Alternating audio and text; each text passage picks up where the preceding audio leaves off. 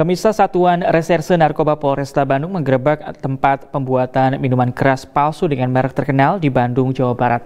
Hasilnya, polisi berhasil mengamankan ratusan miras oplosan siap edar serta sejumlah bahan pembuatan miras. Inilah detik-detik saat Satuan Reserse Narkoba Polresta Bandung melakukan penggerebekan tempat pembuatan miras oplosan di Bandung, Jawa Barat. Hasil dari penggerebekan tersebut, petugas kepolisian berhasil mengamankan 364 botol miras oplosan berbagai merek yang sudah siap edar, serta alat untuk mengoplos seperti alkohol murni, teh, botol kosong, serta alat pendukung lainnya.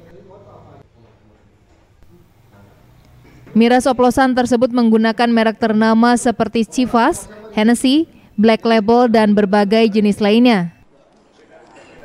Miras merek ternama tersebut harganya mencapai 3 jutaan untuk satu botol. Namun miras oplosan ini hanya dijual sekitar 180 ribu hingga 200 ribuan saja.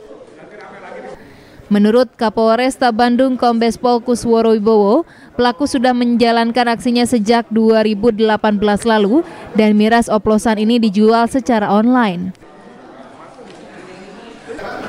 Dengan tertangkapnya kasus miras ini, setara dengan menyelamatkan 3.640 jiwa. Dikatakan Kombes Pol Kusworo Wibowo, sebab selama ini banyak kejadian masyarakat tewas setelah pesta miras oplosan. Asumsi bahwa uh, dengan mengkonsumsi satu botol ini eh, rata-rata uh, 10 orang ya.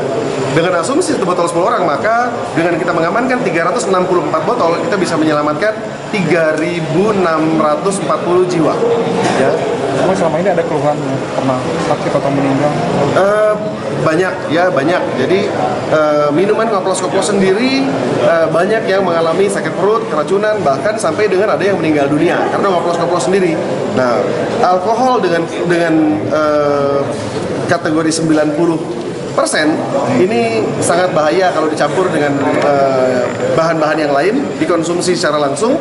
Nah ini bisa sampai uh, mengganggu pencernaan bahkan ada yang sampai meninggal dunia. Untuk mempertanggungjawabkan perbuatannya, pelaku dijerat Undang-Undang Kesehatan dan Pangan serta pasal 204 KUHP dengan ancaman maksimal 15 tahun penjara. Rezitia Prasaja, Bandung TV.